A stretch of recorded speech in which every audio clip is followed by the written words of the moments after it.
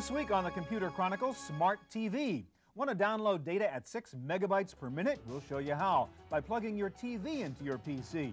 You've heard about the cable modem. Now, thanks to Hewlett Packard and Intel, you can see it in action. Windows 95, that's old stuff. Meet David, the new operating system for digital TV, set top boxes, and video on demand. And finally, high quality audio and video in sync on a PC. Thanks to MPEG 2 and S3. We'll show you how it works. On Net News, Giles takes us on a tour of Convergence websites, plus this week's computer news and a cool new program that lets you create multimedia family albums. All this and more coming up next on the Computer Chronicles.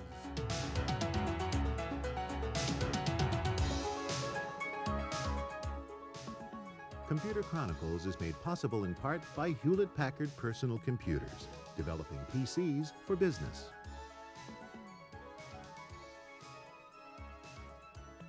The Computer Chronicles is also made possible by the Software Publishers Association, providers of educational materials to help manage software. Don't copy that floppy. Hi, and welcome to the Computer Chronicles. I'm Stewart Cheifet. While you struggle to slowly download big computer files on a phone line from your favorite cyber site, a gigantic potential data highway is sitting right in your home now, underutilized. It's called your TV antenna. And with a neat new gadget called Molokai, you can now use the broad bandwidth of a TV receiver to dump tons of data onto your PC. Hi, Wayne. Okay, this is the gadget, I guess, and basically just an ISA board that you slip into a PC slot. It's an ISA board. It goes right into your PC, and it's made up really of just two chips here. These are the two primary things on the board. Uh, it also has a way to deliver video into it and a way to deliver video out of it. So it's like a normal modem card, except instead of a phone line going in, it's a TV signal going That's in. correct. And this particular one doesn't have a tuner in it, but it also could have a tuner on board, in which case we could deliver a regular RF signal right to the back of it. All right, so show me what the interface looks like. Okay, this is what the screen you might see if you first uh, looked into the package, and really all this does is allow a consumer to decide how they want to interact with the data. And basically, they've got three choices download everything that's on at a given point, don't download anything, or download things selectively as you. All right, now, now this assumes that some TV station or several TV stations or networks are feeding data with their TV shows, right? That's absolutely correct. It assumes that there is something that's coming down at all times, whether you can see it or whether it's invisible. and what's the thing at the bottom? The thing at the bottom is just a way that we can actually demarcate our hard drive so that we don't download too much data. Okay, so I can say I want so much of my hard drive dedicated to automatically picking up stuff from That's the TV. correct. And once you get to a certain point, you get near that point, you'll start getting warning messages that say to you, hey, you've got a little bit too much data in here now. Do you want to accept any more packages right, so or how not? do, how do I know what's coming down? Well, here's a good way to find out. Here's a data guy that we've got. You pick a network, in this case NBC. We go ahead and click on it. We click a particular show. There's a show. Here's some data that's coming down. We click on that. That puts it on our what's coming list. And now we have, in fact, created uh, a list of things that we want to come down. In this case, a Seinfeld interactive So tour. while I was watching Seinfeld, the TV program, I was, I was simultaneously feeding data into my PC that might have photos or backgrounds on Jerry and that kind of stuff. That's correct. In this example, we wouldn't actually see the data. Yeah. It would be coming down in the vertical blanking interval, so we right, wouldn't now see it. show me the example of really dumping lots of software real fast using TV. Okay, here's a good example. I'm just going to roll this tape right here. And Superstore right now, we're going to show you a great product from Microsoft called Microsoft Publisher. It is item number 3337 here on the So PC this is like a kind of List QVC example you're showing where you would be selling and delivering the software electronically. That's correct. And you can see now, you're going to see he's showing off the product here. He's giving you a special price on the product. You're also going to see, if you come over to the other screen, you're going to see that we've already got messages that say, by the way, consumer, there's something coming down in a very short amount of time. So some data message was hidden in the video signal already. That's correct. Newsletters And flyers and brochures and, in cards. just a second, after Greg gets done showing us computer. around the Look at product itself, he's Very, now going to actually, once we've got a consumer And interested in this, he's going to be able to deliver a demo version of oh, that Microsoft software Publisher. very, very And shortly. this is a selling example, but I mean, it doesn't have to be in a selling It doesn't have right? to I mean, we could be sending software right now during Computer Chronicles. That's correct. right now. And here's a good example of what the software actually looks like. These, no that black and white stuff coming down is data. into your computer. So that's what data looks like when it's part of the TV signal. That's right. All right, now how do I know over here in my PC something's happening? Well, you can look right up here on the yellow bar, and you can see that we're 65, 66 percent, uh, you know, downloaded now. We can see that we're receiving data over here in the with the green arrow, and when it's over, we'll be all set. I'm just going to go ahead and stop that tape. Uh, and we can actually come in here now and look at what's here. And we, in fact, have Microsoft Publisher Demo. We can open that thing up, and it will decompress because it does come in compressed. And now we can play with that software for as long as we want. So in those 15 seconds, you fed me this whole demo copy of Publisher, which was how big a file? That's correct. It was almost a four megabyte file. Wow. And it's here on my hard drive, and I can now go play with it. That's absolutely right. Uh, and in fact, because we can send down, uh, you know, the full demo version, we can also send down a full working version of the software also in a locked format and actually have a transaction. That is really cool. Wayne, thank you very much. All right, this trend towards smart TVs and multimedia PCs is called convergence, the merging of the functionality of our two favorite appliances. To catch up on the latest in the field of smart TV, we visited Convergence 95, a smart TV developers conference held a few weeks ago in San Jose, California. Walk along an aisle at the Convergence 95 Expo and you may feel like you've gone back in time to a computer show of the early 1980s. There are plenty of small stands with clever homegrown products and a sense that we are watching the birth of a new industry. The difference is that a lot of major players are showing interest and they are making plans today.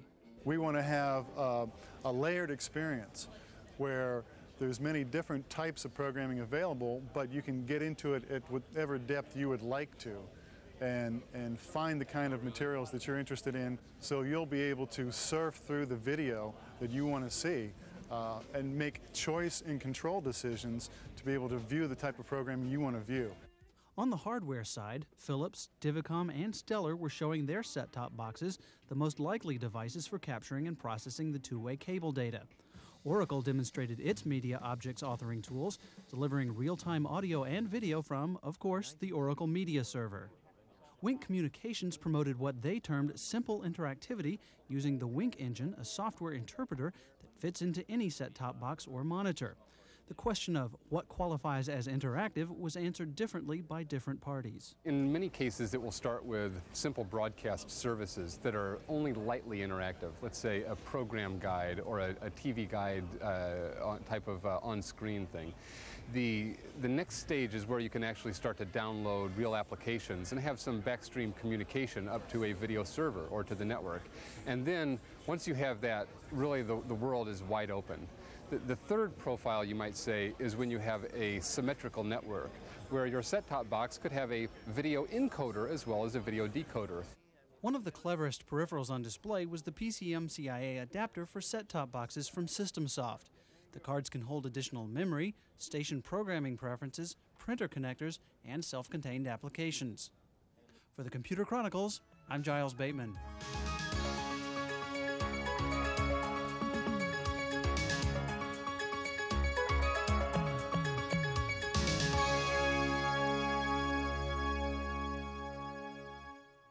DAVID is an acronym for Digital Audio Video Interactive Decoder, and it's the name of the emerging standard operating system for interactive TV. DAVID was created by a company called Microware.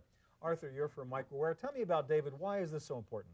Well, it's important because there's a need for a common target, a common standard right now, and an open standard for developers, specifically application developers and content providers, to start creating applications and services for interactive television networks. And DAVID is built on OS 9, basically. DAVID right? is built on Microware's OS 9 real-time operating system, very stable, very mature, and it brings that sense of security and mission-critical kind of efficiency mm -hmm. to mm-hmm. consumer electronic devices. Okay, let's talk about the setup. So what do we have right here? Okay, what we have here is a digital interactive decoder. What some people call a set-top box? Right, in this case it's a set bottom box okay. Uh, from one of our uh, licensees and there is a telephone line attached somewhere out there. In this case, this is just a demo to a PC. Okay, the computer's not important right now. That right. would be back at a TV station Exactly. Somewhere. All I have at home is my TV set and my set-top box. Right, and this is going to receive MPEG-encoded digital audio and video from some kind of service. So this is digital TV coming to me on a phone line from my phone company, presumably. Exactly. All right, what are my choices here? Uh, the choices here are, for example, we've, we have uh, some applications that show,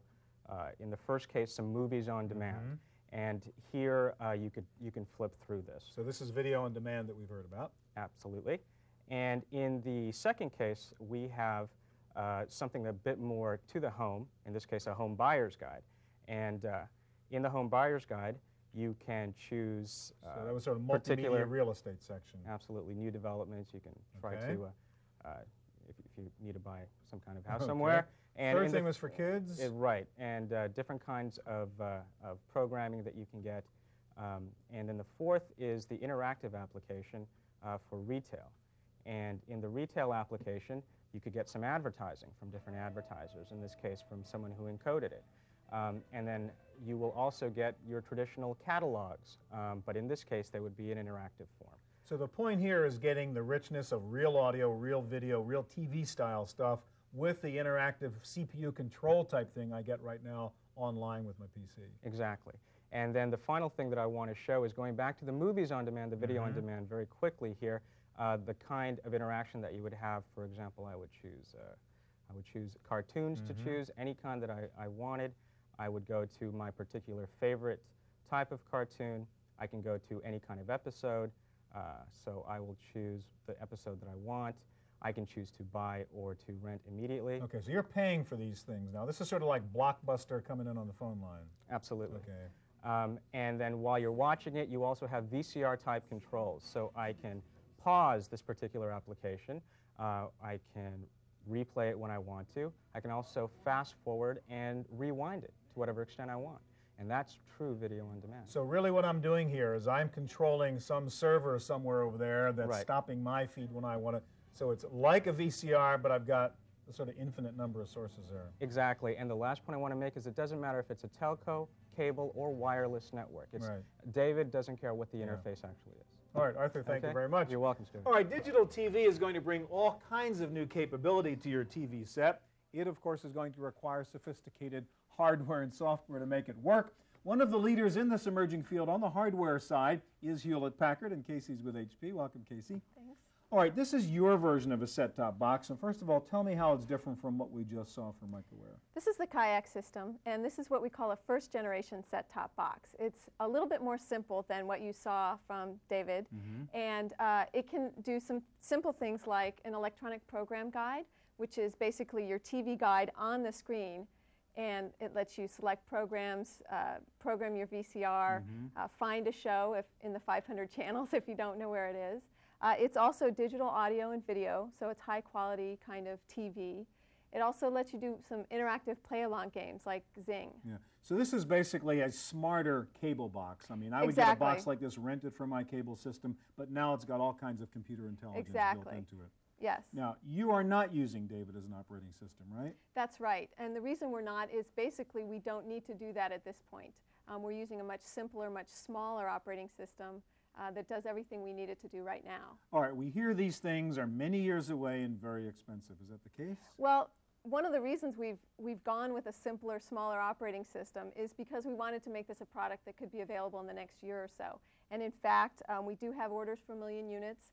Uh, this product will be out mid 1996, and we're working with all the major, or many of the major cable companies uh, to provide it for their subscribers. Okay, next you have a real cable modem sitting over here. Now, Yeah. earlier in the show, we saw an example of using TV to feed lots of data. Tell me what a cable modem does. Well, a cable modem acts just like your modem today that you've hooked up to your PC and your phone lines. The difference is you'll hook this up to your cable line, your coaxial cable line, and what you'll get is incredible speed. Uh, so the cable modem can perform at speeds that's up to 1,000 times as fast as your 28.8 Wow. modem today. Um, the other benefit of a cable modem is you're not using a phone line to do it, and you can actually watch cable TV while you're using your cable modem, so there's no conflict there. All right, and besides speed, what is the benefit of having a cable modem? I mean, as a consumer, what, what would I do with it other than what I do now with my modem?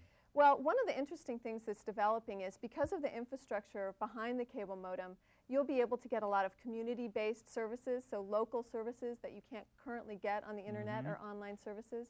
Examples would be um, being, being able to call up your school, your kid's school, and find out what the homework assignment is, or find out, you know, how they're doing from their and teacher. really pull down a video clip of my kid's teacher from that school. Exactly, saying, you know, how well Sally's Uh-huh. doing today or this week. Um, you can do things like look up uh, local theaters. What's what's the uh, the local attraction at the local Mm-hmm. theater and buy tickets. Pick your seat. Uh, you can do things that are very um, personally oriented. Look up your horoscope. So once again, I mean, this is really convergence again. It's the power of TV, the power of the PC, bringing that control and the video stuff together. Yeah, absolutely. And it's interesting to note, some people have an opinion that the TV should be the interactive Yeah. device and the P or the PC should be. And at HP, we really see a place for both the TV and the PC. Thank you very much. All right, one of the grand experiments underway now to bring together TVs and PCs is taking place in Castro Valley, California, where several hundred lucky PC owners can now download massive files via their TV cable using a new cable modem from Intel. At the Castro Valley High School near San Francisco, Jeff Goldstein's freshman class is studying geography. Of particular interest to the students here is the location of earthquake faults and their effect on different types of terrain. The students are using a high speed internet connection to retrieve maps showing the risk of damage in different neighborhoods. The classroom is a test site for delivery of online services via broadband television cable. It's so tailored to the individual. It's tailored to the individual teacher, to the individual student, to the classroom. Um, that's, I would say, its, its, most, its most useful quality is that it's um, an incredibly rich resource. And um, you just can't access all that you need um, in one place right now unless you've got the technology in the classroom that I have. The Castro Valley area was chosen by Viacom Cable and Intel to measure the potential for PC cable, both at home and in the classroom. The school's internet link is always active, and the data is transmitted at fast broadband speeds, about 10 megabits per second. It might seem that a television monitor would do the job just as well, but Intel doesn't see it that way. But the reason we choose the PC over the TV is that basically personal computers were designed to be interactive and they have the capability and the power to be interactive. Televisions were designed for a totally different purpose. Uh, they're in the wrong place. I mean, most people in the living room want to relax. And no matter how much computing power you put on top of a TV, you can't add more pixels to the screen. So you basically have a, a, a display which has very low resolution and may be great for watching television. It's wonderful for watching television. It's not very good for other things. But to the public school teacher, the future battle between PC and TV is a minor issue compared to the cost. All the teacher wants is more than one terminal for a class of 35 kids. For the Computer Chronicles, I'm Giles Bateman.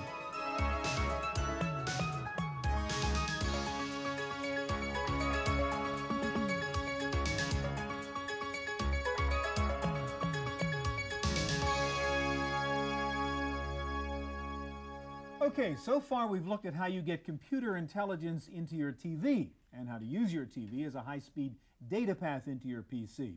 Finally, let's look at convergence in the other direction, getting TV quality audio and video onto your personal computer. The technology is here now in the form of MPEG. Mike, you guys at S3 work on MPEG, and I wanted to see the differences. First of all, what we have running now is a video clip in what's called the AVI format. Explain AVI. Okay, um, this is um, Knowledge Adventures The Discoverers, and they're using a proprietary video codec, and it's really optimized for slower speed PCs, 386s and slow speed 486s. As you'll notice, there's uh, pixelation, blockiness, the frame rate is low, it's, uh, the audio quality is poor. It's not the same that we've come to expect from compact discs. And if we take a look at this next scene, which is coming up, we can see that's kind of crummy. But in fact, is this is what we would see right now if we were playing a game on a CD-ROM, right? I mean, Right. basically it's AVI. Right, up till now this has been considered good, but with the newer MPEG technology, we can really start to get TV quality and CD quality audio. All right, so what I want you to do is pull up the same video clip, only run it under the MPEG format now so we can see what the difference is between AVI and MPEG. Sure. So this will be the same piece of video. Right, it's the Discoverers, but now MPEG format. Now, right away, we can hear the audio is a lot better. Right, CD quality audio, and you start to see a lot more detail. There's no banding of the, the sky. There's a very uh, sharp detail around uh, uh, high contrast areas. MPEG is just a superior video codec. All right, now why is the superior? What does MPEG have that AVI doesn't have?